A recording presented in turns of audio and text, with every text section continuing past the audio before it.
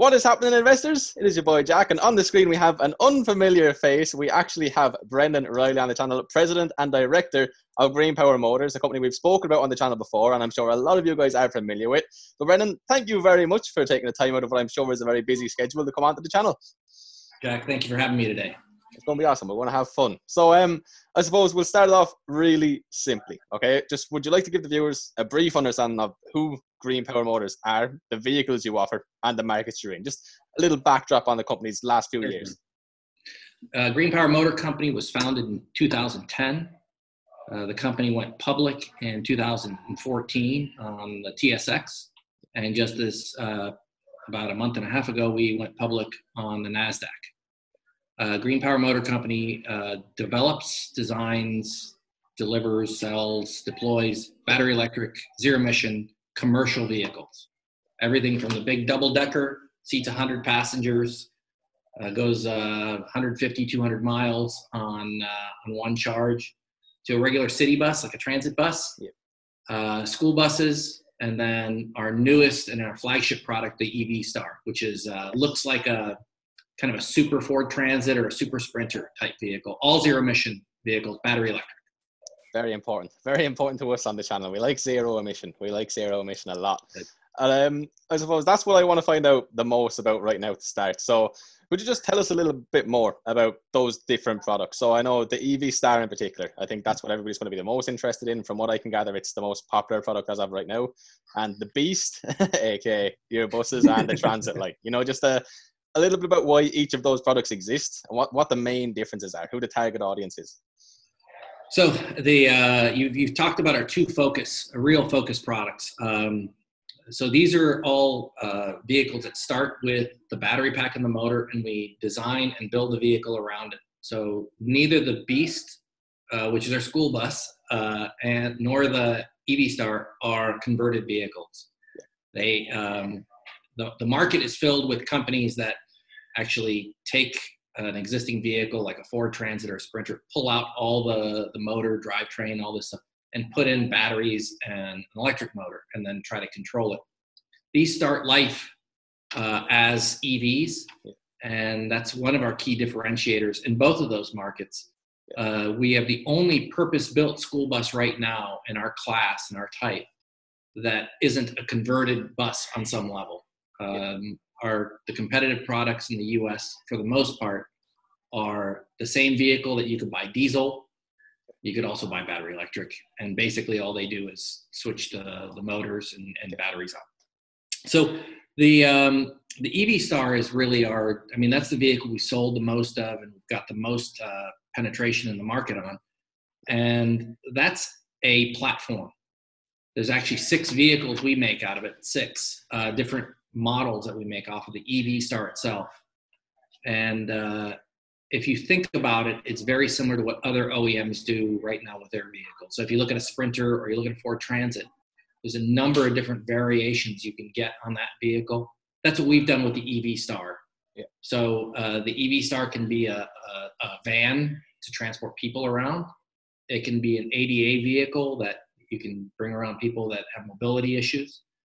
Uh, we have a cutaway version of it. Basically, it just looks like a pickup truck or a, a chassis that we put a bigger body on um, that is a bigger kind of shuttle bus. And then we can sell that cab and chassis to companies that want to put their wares on it, their body, whatever on it. And then we've got the cargo variant. Uh, we've got an EV Star Cargo, which is like the cargo vans that you see delivering Amazon and other packages all over the place. And then uh, we have a big box truck with a lift gate on the back that's used for uh, delivering goods, heavier goods. Okay, so uh, so a lot a lot based off of the one kind of vehicle. That's Yes. cool.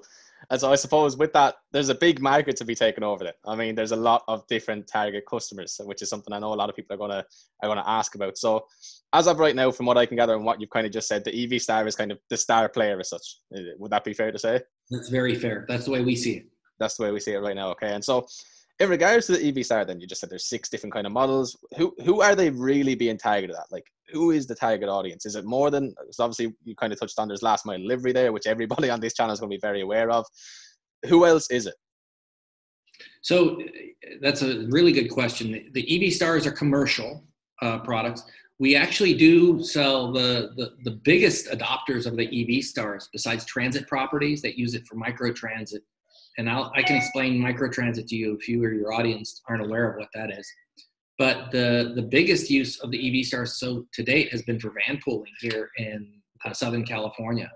We have a partner called Green Commuter that we sell them to, and we work closely with uh, as far as uh, helping you know train operators and so on with the vehicle they're used by regular let's say you worked at a company an hour away and your company sponsored a van pool service our ev star would be an, an option for you to use to drive to and from work every day with your fellow employees okay cool that's awesome yeah a whole lot of people um and and microtransit's another place where we've had a lot of success uh, so here, uh, not like in in Europe, where especially in in Ireland and the yeah. UK, where you've got very compelling transit models where transit really takes you where you need to go. Here in the U.S., uh, the the joke is that transit takes you from where you don't live to where you don't work, and that's been the problem with transit in the U.S. We have these fixed routes. We don't have the urban density, the density of population yes. that you have, and um, that's led to a very inefficient kind of uncompelling transit system. Okay. Well, Uber comes along. Uber's super exciting. You think of Uber and you think, man, yeah. get on my phone. They're going to pick me up and drop me off exactly where I need to be at about half the price of a regular taxi or yeah. something like that. Uh, so transit properties in the U.S. have been looking at this Uber model, and they see it as really something that's eroded their ridership. Okay. So they've lost about well, now they've lost a lot more due to COVID, but pre-COVID, they'd lose about 10 to 15% ridership year over year, and they attributed it almost directly to Uber or Lyft. So what transit properties decided is what if we could make our own Uber for the transit riding public, kind of the last mile, first mile, last mile transit yeah. service. So they started, uh, they got a, an app that does dispatching of the vehicles and allows customers to hail the vehicle. Okay. They subsidize it heavily, so it's fractional cost of Uber or Lyft. And now people can hail vehicles, uh, EV Star included. Uh, they want out this all be zero emission uh, to really pick them up where they're at and drop them off where they're at. And another thing it's allowed them to do is it seems to be taking away from the um, the need for uh, paratransit. So there's also accessibility transit programs here in the U.S. for people that are either elderly or, or disabled. Call a vehicle up. It's called Dial a Ride. Well, they're able to leverage this service to take over that also and give just a very compelling, low cost, super efficient transit program. Again, it's a small areas yeah. um, and it can feed kind of the bigger transit hubs. But that's uh, just about every transit property in the country, in the U.S. at least, has yeah. uh, has microtransit on their roadmap. Yeah. And our EV Star right now is the only eligible EV vehicle that uses federal funds. That's that's very cool. Actually, I don't think that's something I I didn't really come across. So I doubt many people did. That's very cool. That's kind of like um creating the solution before a lot of people even knew there was a problem. You know what I mean? Well, it's maybe creating a solution before people realize it's a problem. Uh, yeah. But yeah, you're right exactly. That's that's awesome. That's cool. Okay, so um, as we you briefly said earlier on, the company recently had their US public offering. So congrats, obviously, happy days. We're on the Nasdaq. A lot easier for people like myself to buy you guys. I, I was looking at you when we were OTC, and I didn't have an option, so I, I missed out a little bit. But anyway, okay. And it was said in that that you intend to use the net proceeds of, in orders for production, product development, and geographic expansion. So I know it doesn't really go into much more detail than that, but I'm wondering if there's anything you could share with the viewers because people always, you know, we, we want to be looking forward to something, you know. So uh, the uh, the stated uh, really what we're spending the lion's share of the, mo- uh, of the money that we've raised on is production. So what we want to do is make sure that that money is used. Not, uh, you know, we do have great roadmap products that we've been working on even before we received this money. But production financing is a big. Uh, so the way it works when you're building EVs or any big capital goods is often you have to, you know, put down payments on things when you start production. uh, you have to buy goods. Often there you have to pay, pay for them before you even receive them, uh, especially to get very, very favorable terms. So the you need capital to build things, and that's what this uplist really has given us this advantage of being able to really make sure we have vehicles built even for inventory. So we've got a dealership model across the country that uh, there's now over 20 different locations of uh, green power uh, sales in the US uh, locations, plus we have some in Canada. And we can now build vehicles for stock for those locations to have an inventory, just like a car dealer. Like you'd go down to Ford, they usually have the vehicle on the lot. That's that's our um, that's our model right now. That's going to be the biggest thing. That's very cool. Yes, and we see that as helping adoption uh, you know, helping vehicles get also in places where right now we don't know of anybody doing that. Yeah, no, definitely. I think that's going to be an answer that everybody's going to be very happy with as well. I mean, that just what you can't do much better than that. You know what I mean? So, um, I suppose the last year that the company's had, so the last fiscal year ended March 31st, I believe, from what I've seen. The annual revenue was 13 and a half million, which was up 122% year over year. So, I mean, I know that people are going to say, well, for one, it doesn't seem like the biggest revenue like straight off the bat. But for two, it was massive increase year over year. You know what I mean? And a lot of that happened during particularly tough times. And in that period of time, we saw the record 68 all electric vehicles, from what I could tell. Okay, so how do we expect the rest of this year to go? And how have the last kind of six months go? Because I mean, I've been seeing much bigger sales numbers on, on the website when we look into the news tabs. So I'm wondering what's expected, say, for GreenPower over the next six months in regards to actual sales? So we we aren't giving guidance right now. Okay. Um, I can just tell you it's it's greater than um, and than what we've seen. We just don't know if COVID's going to be and and for us, sales isn't just selling the vehicle or getting the order. We're talking about delivering to the customer.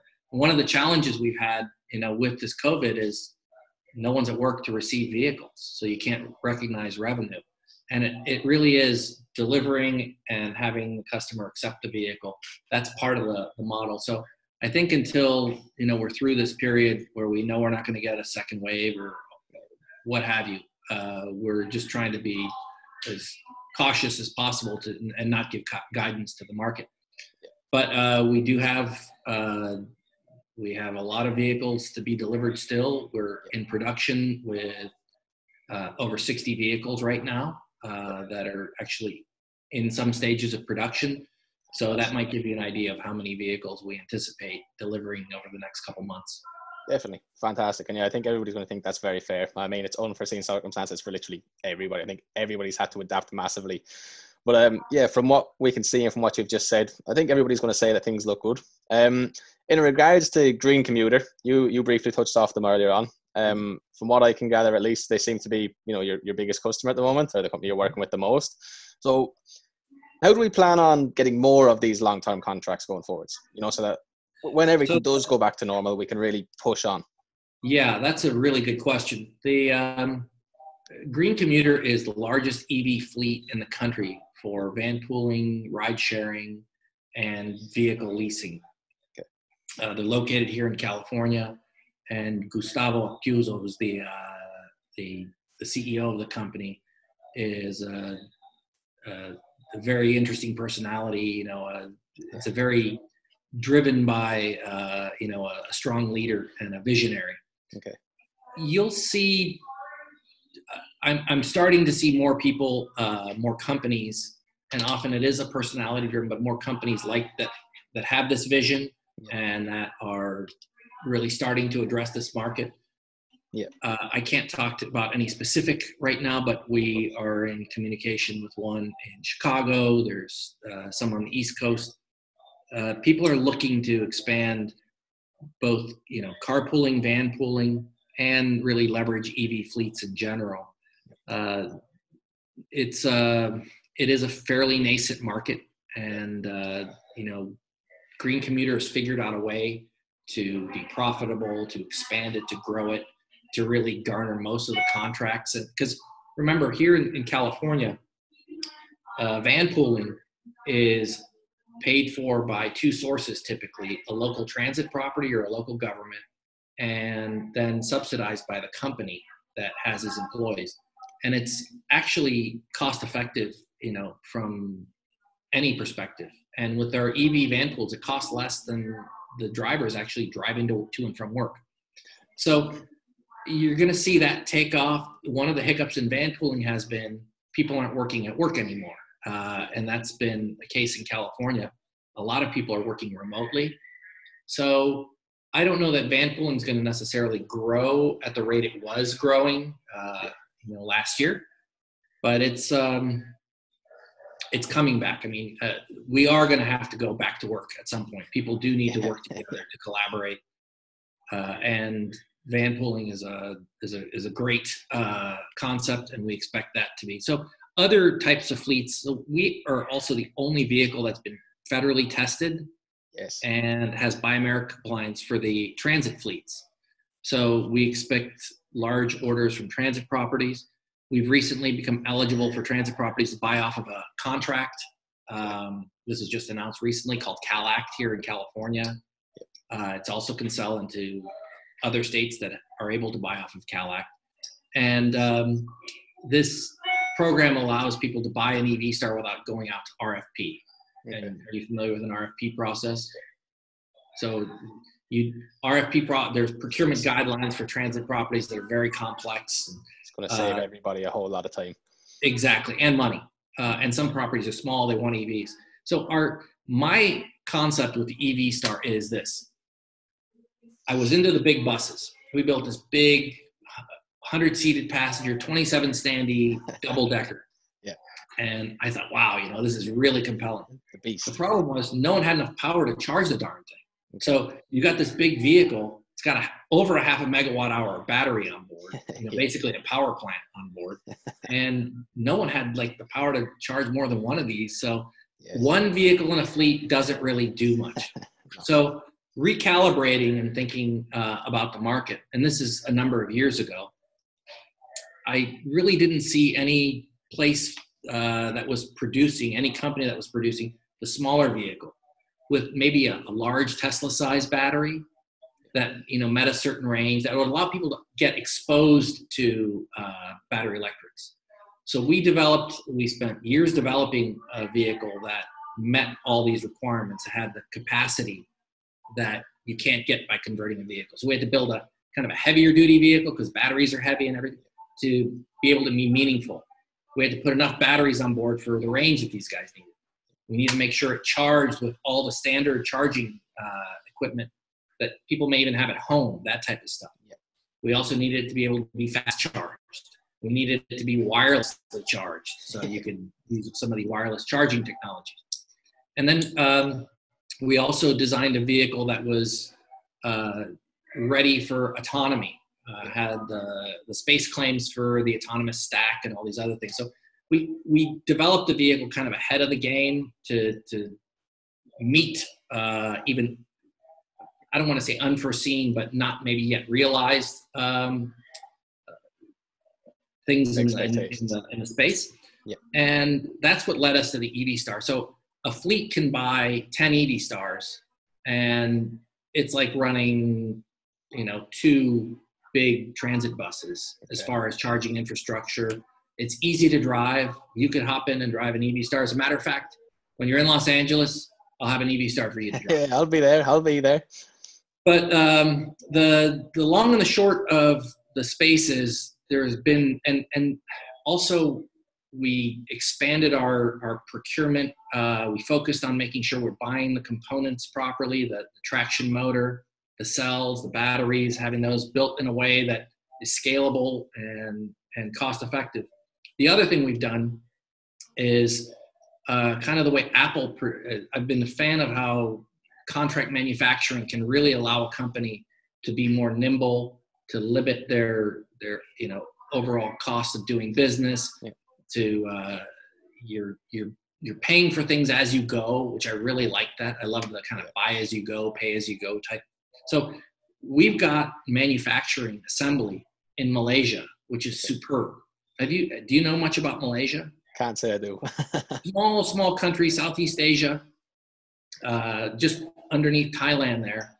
And that is amazing. They've got four car manufacturers in Malaysia for you know 20 million people. It's it's crazy how yeah.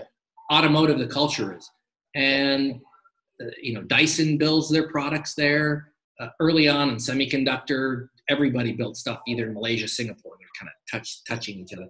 Super high quality, uh, fascinating place. We have assembly in Malaysia that we oversee, so we can ha- build exactly our same vehicle that we build here in the U.S. in Malaysia for substantially less money yes. and higher volumes. And if we don't require the Buy America compliance, we get a very high quality uh, vehicle at a lower cost, uh, which is also getting lower and lower as our uh, volumes increase.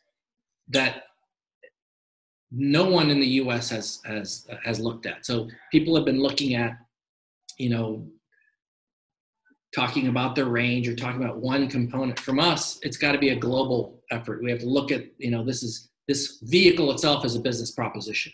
It has to be inexpensive to manufacture, uh, compelling to the customer, uh, has to be reliable, has to have all these different attributes that you need to be a successful vehicle. We're not just saying we can go the farthest, you know, yeah. we're the prettiest, we're the lightest, I, yeah. any of that stuff. It's kind of the, the blend of those things. And that's really where I think the EV Star um, I mean, that's the culmination of my vision, at least.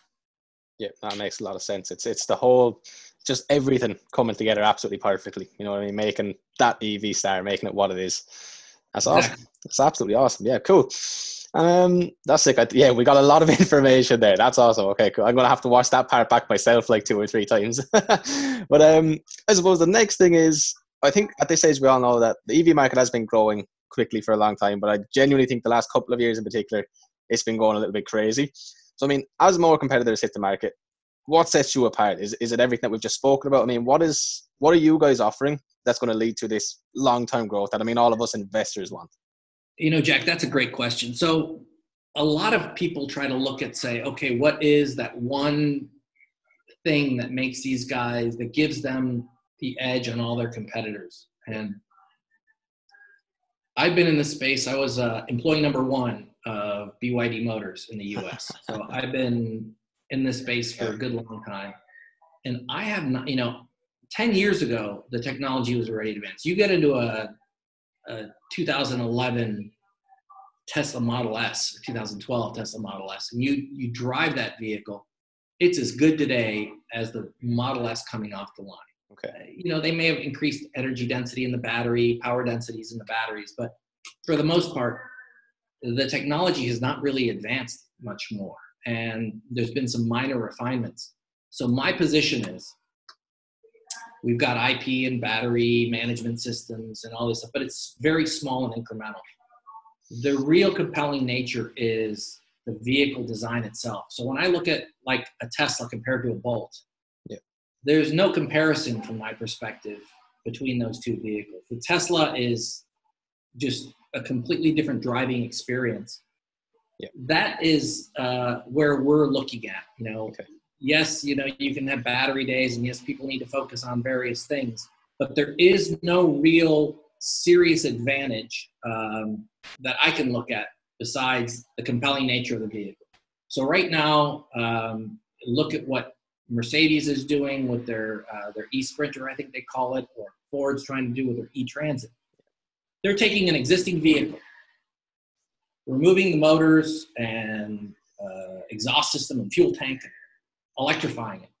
So they're taking a vehicle that was designed as an internal combustion vehicle, pulling off all this stuff, putting in motors in it, uh, batteries in it, which weigh a lot more than what they pulled out. yeah and they're either sacrificing range. So the e-sprinter, last I heard, they get between 50 and 60 miles on a charge. Yeah. And that might work in Dublin, you know, you're just delivering. Uh, yeah. That's not even going to work over here. I don't know, but I don't think it really is is is is that compelling. Or if you put enough batteries in, you're not delivering anything because you've used up your capacity to bring batteries on. So the there has to be a balance. And remember, it's not as it stands right now. Batteries are about 14% the energy density of fuel. So if you look at the weight you're carrying and all that stuff, you really have trade-offs. Batteries just don't have you know, and wireless charging helps and fast charging helps and so on and so forth to get you through your day. But the the whole concept that you know Nikola and all these people are talking about battery electric big rig trucks for long haul. Yeah. You're either moving batteries or you're moving goods. You can't really move both. Okay. And we understand that. And we're not promising, you know, a complete replacement for these vehicles. We're just using the best case model that we can to produce a compelling vehicle. And I, my competitors haven't seemed to have figured that out. That's my position. And Uh, will they? Yes. Uh, but hopefully, you know, our first to market advantage, first Yes. mover advantage is there. Uh, we've already got hundreds and hundreds of thousands of miles on our vehicles that we just started delivering last year. Yeah. And um, we expect to continue to improve. Another thing we need to do as green power and that we've been focused on, like a laser, is lowering the cost on the vehicle. Okay. You know, the target is to make a compelling vehicle in our space that only is 20 or 30% more expensive Yeah. than internal combustion vehicle it's replacing. Awesome. And if you look at operational savings and you know fuel Yeah. economy, not including any of that stuff, from day one you'll Okay. be printing money. And even today, if you finance a vehicle, from day one you're saving money with our EV Star. So Yes. because the you blend the opex and the capex, and we're way ahead of the game. That's fantastic. I think that's what everybody wants to hear. You know, it, it was built from the ground up to be an electric vehicle. You know, it's not just a nice vehicle turned electric. We want to be as cost effective and you know save people as much money as possible. That's one of the big reasons people go to EV. You know what I mean? There's no So, trade I've offs. I've got an anecdote for you. We um, we tested our vehicle uh, at an independent uh, test track that's actually independent to us. That's run by the U.S. government, or at least subsidized by the government. It's called Altoona. It's in Pennsylvania. Yes. It's in the small town not far from Penn State, and it's a proving ground. It's a track that has it's kind of an obstacle course for vehicles. Yeah. Potholes and it's very similar to your roads. And Yeah.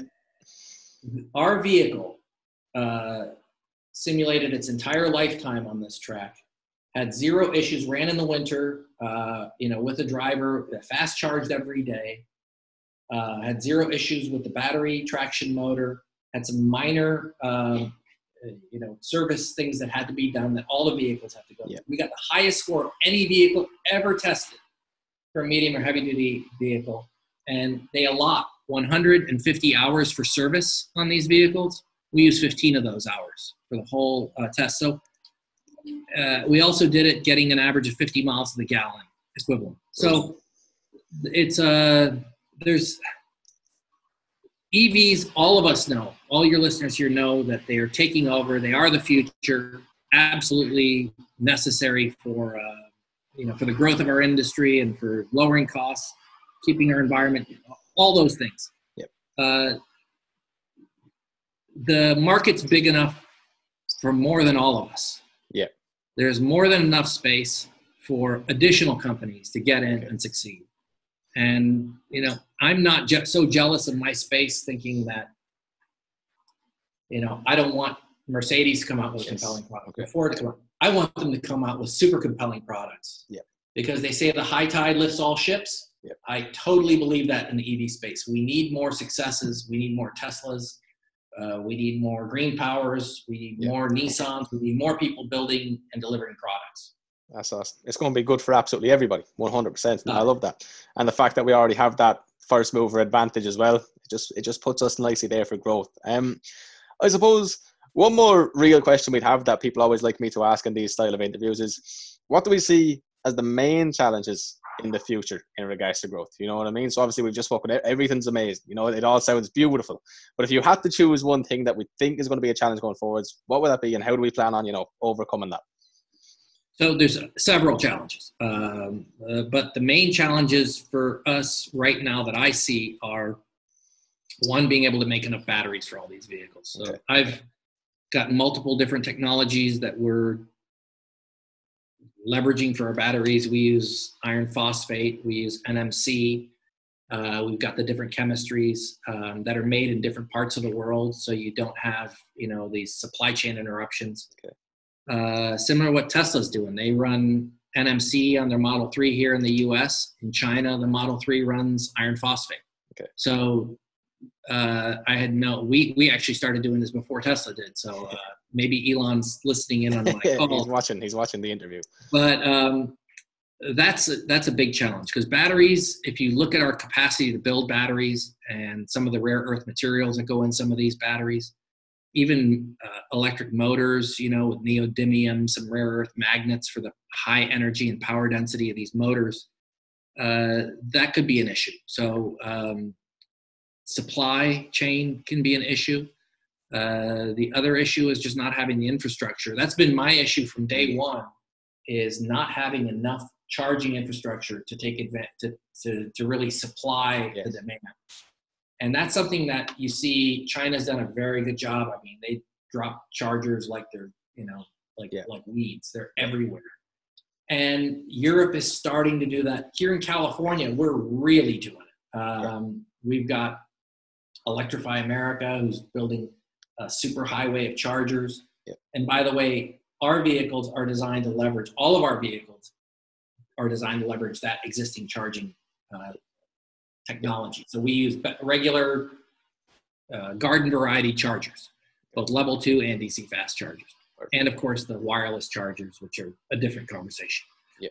So the the issue is going to be we're not going to right size the charging to the amount of vehicles on the road, and there's going to be some bumps and starts. Okay. Fleets are a very smart way to look at things, and that's kind of a, what we're looking at because they'll often have their own charging yep. and control their own charging. But eventually, for EV adoption, we need to make sure that chargers are more ubiquitous and that we have enough electrical power, um, you know, in the grid that's transmitted, produced and transmitted to where it needs to be for charging. Yeah, that's awesome. That makes a lot of sense. And again, that's I suppose somewhat of a of a universal problem as of right now. You know what I mean? It's that's, that's something that's just going to be have to handle one step at a time. But yeah, but I'll say I'll say to you, it's the beauty of, you know, what is the the fuel of an EV? It's an electron. Electrons yeah. are electrons. Power is power. So very soon, you know, if you like, if I've got a Tesla, I can plug it into a level two ada- a charger with an adapter um, and I can use for my level two vehicle an adapter for a Tesla charger. Yeah. So we're starting to get more, you know, cross-pollinated with the different protocols and charging standards and strategies, and that's helpful. But you know, the other beauty is people don't have to go to the fuel station anymore. Yes, you can you can fill your your your plug becomes your fuel station. Yeah. That's that saves you a lot of time, a lot of headache, and especially women my wife, I don't know if she's ever filled up a car in her life. I, she gives me the car. She goes, "Oh, it's empty. You got to fill it up." I mean, something. So I see women adopting EVs probably uh, more than men for that reason alone. Okay, that's interesting. That's very interesting. Um, Brendan, that's pretty much what I had to ask. But is there anything you think that should should be shared with everybody watching this right now that didn't come up in today's video? So we we're doing something really exciting uh, okay. at Green Power. We're besides what I've been talking about, that's pretty exciting. Really exciting. We're uh, deploying our first fully autonomous level five autonomous vehicle in passenger service on regular streets in the city of Jacksonville, Florida. Uh, by the end of this year, the vehicle's built, it's validated. We're just waiting to get it integrated into the fleet and get started. But it's um, you might have a safety pilot or a safety driver in the front, but all he's got is like a button to like stop I mean, you, the controls are still there, but uh, yeah. he's got a button to stop and then take over if he needs. But um, okay. autonomous is very cool, and um, we're going to be the only autonomous platform that can be integrated at manufacture of the vehicle. So we're not, you know, taking things apart to retrofit to automate. Uh, our partner right now on that deployment is called Perrone Robotics. They make okay. what's called a stack. That's all the computer hardware and software that actually takes the information from sensors and then controls the vehicle. So the vehicle, and it's not just like what you've probably seen are these glorified golf carts that go eight or 10 miles an hour and just in a line. This is actually in the streets, looking at street lights, cool. pedestrian traffic, car traffic, while taking customers, oh, yeah. transit customers around. So oh. we're, we're excited about that. And that coupled with wireless trans, uh, wireless charging, Yes. And are you familiar with wireless charging? Yeah. Uh, so for those that aren't, uh, wireless charging is like your iPhone. When you set it on something, uh, like a pad, it'll it'll charge wirelessly. You don't have to touch anything. So vehicles can do that. There's uh, a couple companies. The company we're partnered with right now on our current, uh, and there's there's other companies out there, but we're using Momentum Dynamics, which um, is also uh, looking to penetrate the European market. Okay. Uh, the the premise is to have a charging pad on the ground, yeah. in the asphalt, wherever. The vehicle just drives over it, doesn't have to do anything, just drives over the pad, and it can charge over about a eight to ten inch air gap. So nothing has to be touched, and you're about 95% efficiency. So just about where, very close to where plug-in conductive charging okay. is. Um, and that allows, you know, no one's going to forget to charge the vehicle. Yeah. A driver can just drive over a place where they're stopping to eat lunch, go to the bathroom, wait for customers. And you could charge vehicles while people are loading and offloading. So for the autonomous space, we've got wireless charging, hands off. Uh, we're uh, integrating a full autonomous control package and stack into our vehicle with sensors, servos, all those things to control the vehicle.